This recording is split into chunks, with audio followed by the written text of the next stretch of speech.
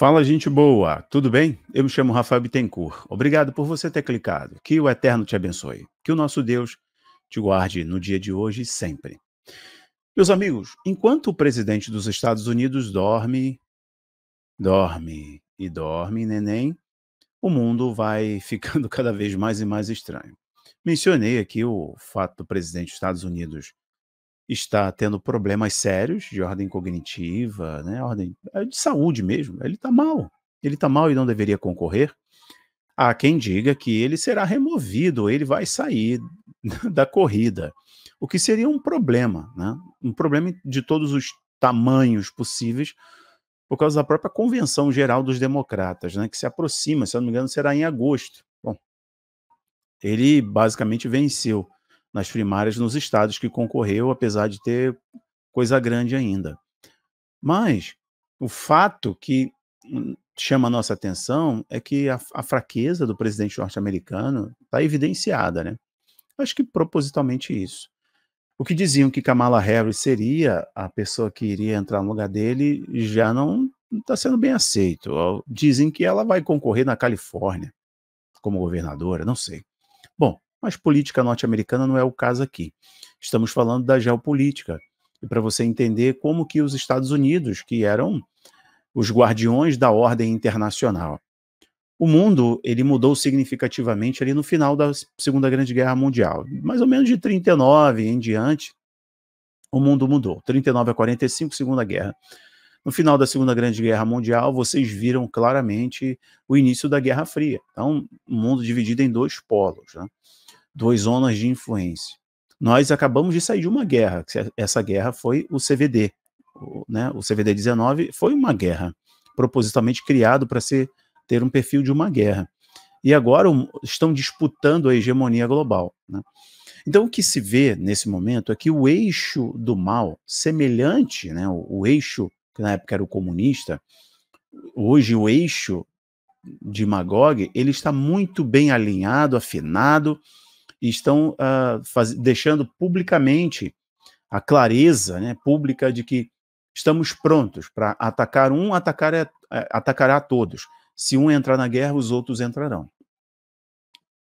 É estranho isso, né? A sensação real de que realmente estamos próximos da Terceira Grande Guerra Mundial, que é dita como a Guerra do Apocalipse, porque será uma guerra nuclear. Então, diferente da Guerra Fria, em que duas potências estavam em conflito indireto, agora também estão em conflito indireto usando guerra por procuração, seja no Oriente Médio ou em qualquer outro lugar. Mas agora, por causa do conflito na Europa com a Ucrânia, o desdobramento deste fato e a Europa se preparando para uma guerra nuclear, né, me parece que o Putin saiu em uma corrida, não só o Putin, mas o Xi, o Putin saiu, saiu em uma corrida desafiando a ordem internacional, desafiando os países da OTAN e deixando claro aqui que as contribuições para uma empreitada global virá da Coreia do Norte, da China, há uma sedução também ao Paquistão, à Venezuela, ao Irã, né, que está em conflito com Israel agora na parte norte, usando o Hezbollah libanês. Esperem algo grande nos próximos dias relacionado ao, ao Hezbollah e Israel. Esperem. Então, essa, essa tensão cresce. Deixa eu mostrar para vocês. Recentemente, o Putin, no dia, ontem, né, a, a, mídia mundial trouxe essa informação do Putin sendo recebido na Coreia do Norte. Estou mostrando um print aí para vocês. Rússia e Coreia do Norte assinam um acordo de parceria que parece ser o mais forte desde a Guerra Fria. O Putin esteve na Coreia do Norte, sendo recebido com toda a pompa do mundo pelo Kim Jong-un, ditador uh, norte-coreano, e sua irmã. Então, essa, a família 1 recebeu o Putin com muita pompa, com muito glamour, né, com uh, um grande chefe, um grande líder mundial, né, com músicas, aplausos e tratados também que foram assinados.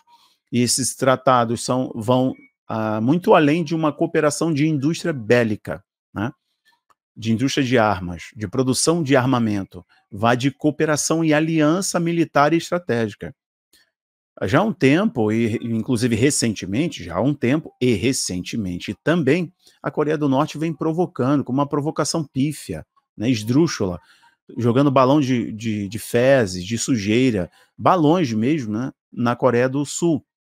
lançando esses balões na Coreia do Sul e com muita provocação, fazendo os testes etc. Do mesmo modo, o, o, o ditador chinês, né, o Xi Jinping, vem provocando Taiwan, dizendo que é uma questão de time, uma questão de tempo para a reanexação da ilha rebelde. Então ele vai tomar Taiwan, vai reanexar Taiwan, isso está no plano do reju rejuvenescimento da China. Então, do mesmo modo que o Putin foi na Coreia do Norte, fazendo voltar essa questão do final da Segunda Grande Guerra Mundial e Guerra Fria, as alianças da Guerra Fria sendo retomadas, não só com Coreia do Norte, não só a aliança ficando cada vez mais forte com a China, mas também com o Vietnã. Então parece que voltamos no tempo, só com outras nuances. Né? Os Estados Unidos, em termos de diplomacia, de, de poder, austeridade, etc., autoridade mundial mais enfraquecida. É o mundo mais multipolar, essa coisa toda. Então, agora eles estão evidenciando que uma outra ordem está surgindo. O Putin, no dia de hoje, está no Vietnã. No Vietnã. Então, o eixo comunista, o eixo ali da, da Guerra Fria, ele ganha outros contornos com uma China que não era uma China em frangalhos como no período da Guerra Fria. Agora, é a China a segunda maior potência do mundo. Uma China entrando numa guerra significa uma quebradeira global. A economia da Rússia só cresceu com os bloqueios. O petróleo russo só cresceu, a venda de petróleo e gás. A Rússia é o terceiro maior uh, vendedor de armas do mundo, que já comprava armas da Coreia do Norte, por sinal, e agora vai comprar mais ainda. Vão trocar, os laços vão ser mais fortes. Então vejam, a China também está aliciando nas no, nos seus uh, é, soft power o Paquistão. Então, vejam, Paquistão, inclusive, que não tem problema histórico de fronteira com a Índia. Mas olha isso aqui. A Europa, ao mesmo tempo, está. Eu venho falando isso com vocês já há um tempinho, né? A Europa está tentando criar, eh, voltar o seu guarda-chuva nuclear, que é espalhar mísseis nucleares em, em regiões estratégicas. E a, a, França levantou essa bola, Manuel, Manuel Macron levantou essa bola. A priori, por uma questão eleitoral, né? E eu falei isso para vocês, ó, Emmanuel Macron está em frangalhos em, em eleição local. E ele, depois da eleição europeia, o parlamento europeu, ele antecipou, dissolveu o parlamento e antecipou as eleições, percebendo que a sua situação é muito ruim. Não só dele, mas da esquerda europeia como um todo. Porque as pessoas perceberam a besteira que fizeram ao dar voto e voz a esses porcalhões da esquerda. Mas o Emmanuel Macron está em problemas. Ele levantou isso, a diplomacia internacional, para esconder os problemas internos. Né? Então ele falou: olha, precisamos colocar o guarda-chuva, eu coloco para vocês aí, guarda-chuva nuclear europeu, de volta, espalhar mísseis nucleares aqui, não só na França, mas em lugares estratégicos, para poder conter a Rússia. Não é só isso, olha, a Suécia, matéria que eu coloco para vocês aí na tela, a Suécia abre as portas para, para possíveis implantação de armas nucleares dos Estados Unidos. Então a Suécia também está aberta para a possibilidade de implantar armas nucleares no seu território, para poder proteger-se diante de uma terceira grande guerra mundial ou de qualquer avanço da Rússia neste sentido.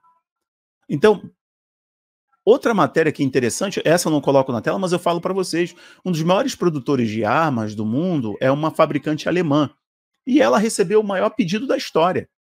O maior pedido da história recente, das últimas décadas, essa empresa de fabricação de armas recebeu, na casa de bilhão de dólares. Então vejam, o mundo está se preparando para uma terceira grande guerra mundial. Né? Não adianta a gente fechar os olhos e falar, ah, não, meu Deus, bem vence o mal, espanto temporal. Eles estão se preparando, levaram o mundo para isso. E só uma grande distopia para fazer, né, um grande acontecimento trágico, para fazer acontecer de fato a Agenda 30, que é o que eles precisam. Então, enfim, senhoras e senhores, estou trazendo essa informação para vocês para evidenciar que essa nova corrida do Putin na Coreia do Norte e no Vietnã, e ele não vai parar por aí, o Brasil está encaixado nesse eixo que é o eixo de Magog, que é esse eixo totalitário, para desafiar a ordem internacional, que não é fluxo cheire, mas para desafiar essa ordem internacional e fazer surgir o que eles dizem, chamam de uma ordem mundial multipolar. Fazer surgir, então, a nova mundial ordem. Entendem?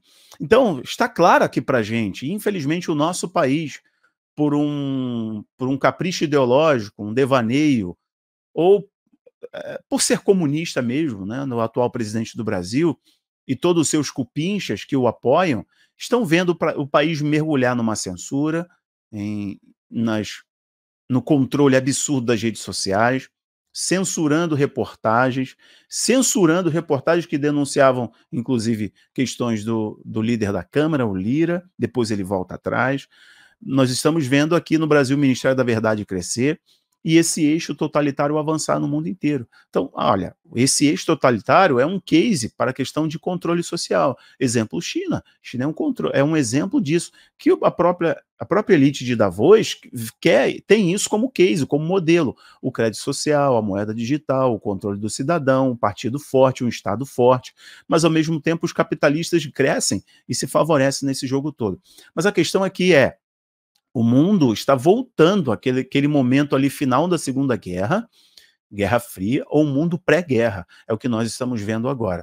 Isso tudo foi predito, foi anunciado. Convém-nos estar bem informado e nos prepararmos né, para que, se de fato isso acontecer, não pegar ninguém de surpresa. Por enquanto, é informação para você entender a construção deste cenário, tá? Não há motivo algum para desespero, agonia, qualquer coisa do tipo, mas essa, essa informação é importante para você ler porque ele está indo na Coreia do Norte assinando tratados de cooperação. Agora, se a Coreia do Norte entrar em uma guerra com a Coreia do Sul, a Rússia, devido a este tratado, vai cooperar com a Coreia do Norte. De igual modo, a Coreia do Norte cooperar com a Rússia. Né? E eles estão construindo isso nesse eixo. Senhoras e senhores, eu paro por aqui. Reforço a vocês o convite para estarem comigo lá no Abaplay. E neste vídeo, você que ficou até o final, eu deixo aqui um cupom de 30% para você ir lá assistir o Ministério da Verdade, que é um documentário que nós fizemos sobre o Brasil, tá bom?